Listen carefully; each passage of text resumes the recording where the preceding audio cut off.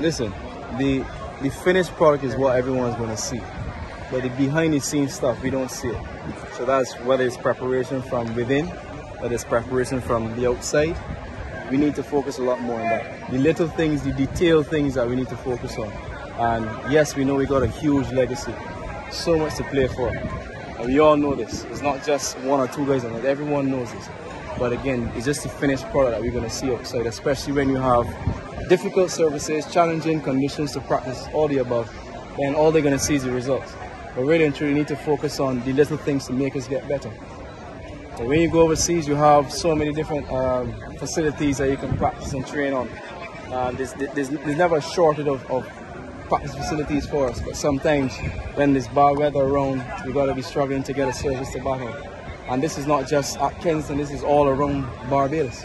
So just an example I'm giving you. So we need to, to focus on little things a lot more, and then results will definitely turn around when we do that.